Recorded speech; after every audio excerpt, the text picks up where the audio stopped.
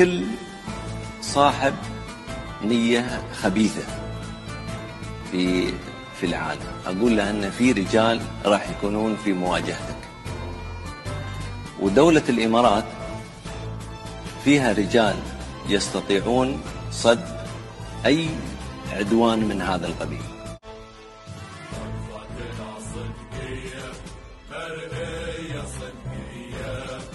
في مختلف